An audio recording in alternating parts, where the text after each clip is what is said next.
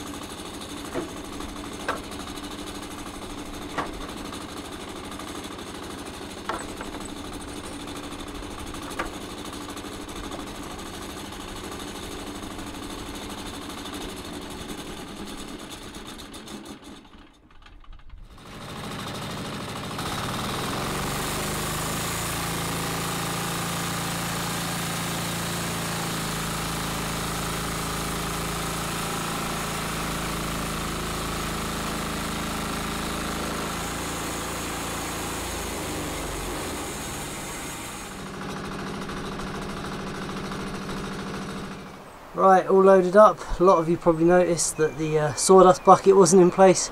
Forgot to bring it up with me. But never mind, it's only a little bit, we didn't do a lot. Yeah, go back down, unload it and load up the workshop. Oh, it's a nice feeling to get it stocked up with some nice timbers ready for some winter projects. Just being organised, got very good at it. When I get organised I love it.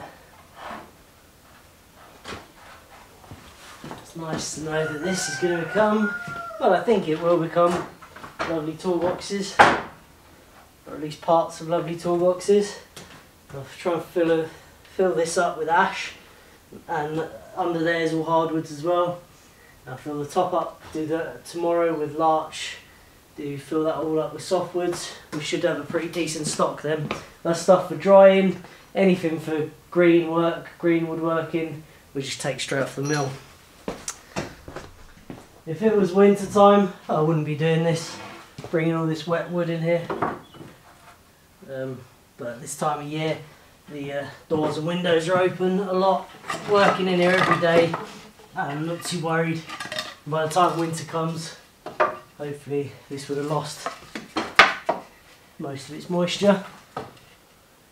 So yeah, don't bring big piles of wet wood into your workshop in winter, that's for sure.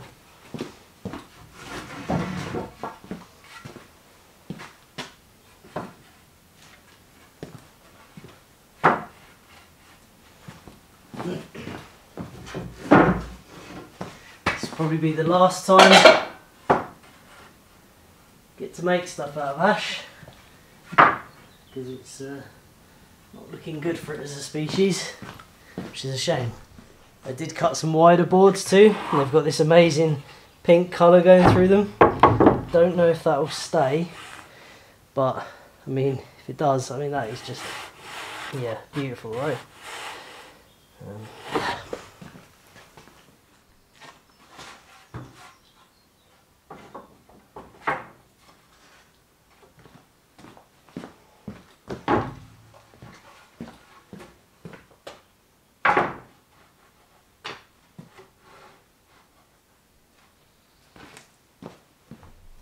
such a joy to have a sawmill. I mean, once this is dry, put it through the planer on all sides. That is hundreds and hundreds and hundreds of pounds worth of ash. Wood is really expensive. Yeah, it's just brilliant. Love it. I'm off to go and get a new machine on uh, Saturday, a tenoning machine, and it's going to be going over there. So that's the next area to get sorted out yeah, it's coming along, it's looking tidier, getting on top of things, getting organised. And as soon as I've got this one organised and sorted out, I'm going to have a new one to, to do. yeah, never ending work, but that's what I like. Right, tomorrow I shall mill some softwoods for the next rack up. Yeah, right, it is the next day. I remembered my bucket today. Looks good. So continuing on, restocking my uh, timber stocks for drying. Uh, I'm going to mill that big one for um, like one inch, one and a quarter inch boards for like joinery type stuff. Um, and I'm going to mill that big one there for sort of two by fours uh, for sort of anything really and door um, material for making doors so like uh, 125 by like two and a half something like that. Or 125 by 60 around that. That's about sort of door making sort of sizes enough to plane some material off afterwards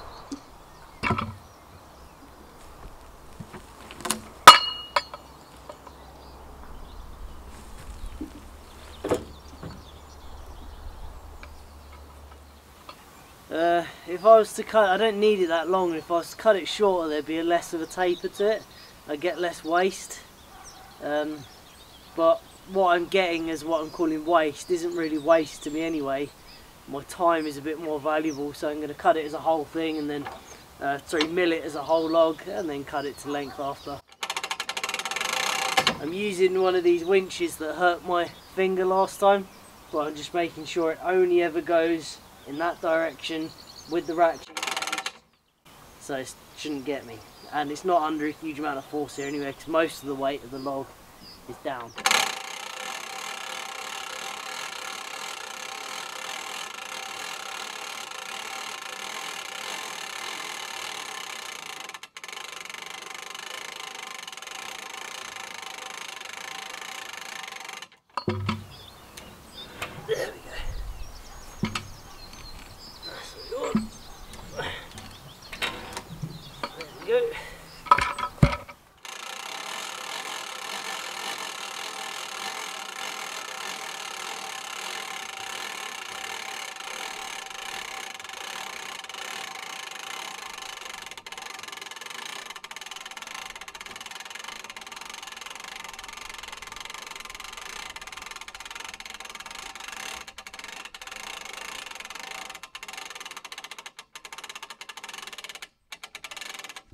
I don't know if any of you noticed yesterday, but uh, it was wobbling about quite a bit as I was milling. When I'm up, it's quite a bit of weight, and there's flex in in these legs because they're not that much. They're not exactly like a machine fit. So the whole thing, it feels quite rigid there, but once it's up, it gets a wobble going. So I'm gonna have to do something about that. Uh, not 100% sure exactly what just yet. We're gonna have to figure something out. Um, I mean, for today, I could just park the tractor next to it, stop it wobbling, hold some of the, you know, just stop it wobbling about, or put a leave a bit of wood against it, maybe. Yeah, ultimately, I'm gonna figure it take some of the slack out of these legs somehow stop it from getting that wobble going. Only happens on big bits of timber though, so it's not too bad. I just uh, put my tractor bucket touching the end uh, just out of the way. It's not going to hit anything. It's just going to stop that wobble. I think maybe uh, could just do with another, maybe two sets of legs, possibly, because it's quite high, quite heavy. And once that blade's going through high up, it it gets a wobble going. And once it starts, it gets a resonant frequency, and then you know it starts wobbling enough to slow down. Wait for that to stop, and then go again. Try and keep the blade nice and fast going through. Um, but yeah, for now that works fine. Right, let's get this warmed up.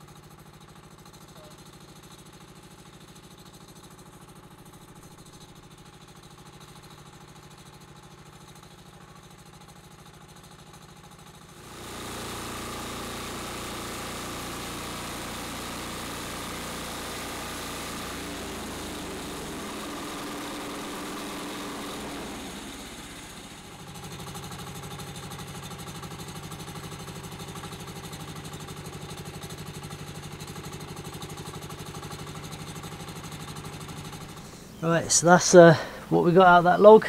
Actually, I've got one more little inch thick board as well, but um, and they're four meters long, so that's all like door wood basically, uh, 55 mil, which will be planed down to 52 or so, and that'll be for doors, stuff like that. They're basically two by fours, true two by fours. And yeah, once that's all dry, that's a lot of money's worth of timber there. Uh, just going to do one quick cut down the middle of that. Um, and that's just inch boards same as I'm going to do the other log. It just uh, worked out that I'll get a nice quarter sawn two nice quarter sawn boards out of that at the 100 mil we did like yesterday but just in larch not ash. So we go with that just cut that down the middle and that log yesterday I forgot the bucket. Today I keep forgetting to put the bucket back on yeah, never mind. I'm just going to cut them down into usable length, do one more log, call it a day for that. I'll do other stuff today, but just a little morning's work, stock up on timber. Right, so that is uh, half a day's milling. See, there's a lot of timber in there, like a real huge amount. Weighing my van right down. Um, yeah, half a day's milling. Spend the rest of the day now stacking it all up because this is all for drying for nice uh, joinery style wood. So it's all got to be cut to length, stacked up and dried properly. So that's what we're doing for the rest of the afternoon. So yeah, just gonna cut all this stuff to length. Some of it's piling up in here, some of it's going outside uh, for air drying under the porch. Uh, just stacking up materials in preparation for future projects. And tomorrow I'm going to carry on milling uh, more timbers for the top workshop, stacking them up as well. Uh, this time of year the place tends to get quite messy with materials but there's nothing to do about it. It's like a constant battle of uh, not having materials, sourcing materials or milling materials or getting materials, stacking them somewhere, getting annoyed with the place looking messy, thinking use those materials, get that done like I've got glass there, I want to stack, get that fitted in the greenhouse and then I can replace that pile with some other materials. This constant cycle of moving piles of materials and fitting them and creating things out of them um, until I've got like a barn to put everything in. That's just how it is. So that's what I'm going to be doing for the rest of the afternoon. Cutting everything down to length and stacking it up. What to do with my ear defenders? There they are. Yeah, that's uh, that is what I'm doing this week. Really, is tidying, milling, and preparing. So that's all the video I'm going to have for you. I'm afraid. Uh, right, we want 2.2 meter pieces for doors. Ideally, 2.2 is probably a bit big, but just in case.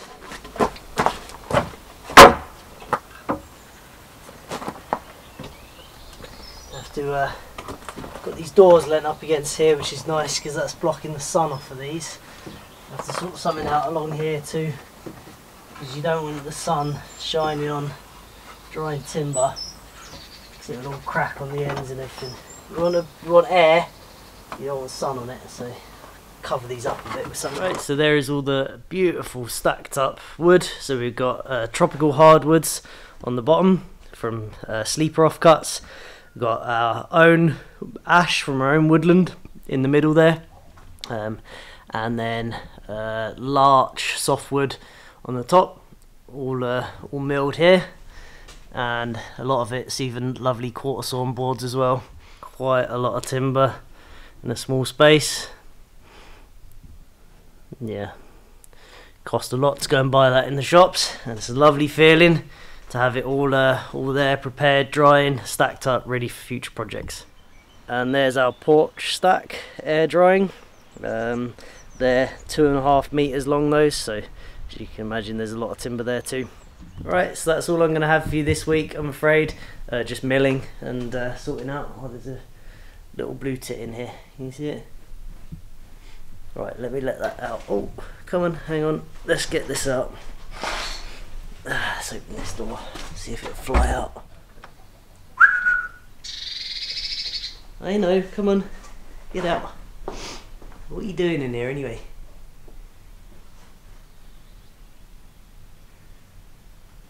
Go on, out you go. Not there. The other door. Why you leave that bird alone?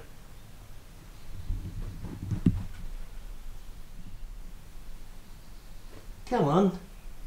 Fly out the door. There it goes. So yeah, that is all I've got for you this week. I'm afraid I have to have these weeks of uh, just getting organised and sorting out materials. I have a volunteer coming today to help with the greenhouse next week, so that's what next week's video will be, either Friday or Sunday. Hopefully, having the rest of the glazing done on the greenhouse. And uh, that'll be the roof and the ends. And it'll be basically done for this year then because um, I need to move on to that top workshop which is what will be starting very soon because I'm a bit behind already. Anyway that's enough blabbering on. Hope you enjoyed the video and thanks for watching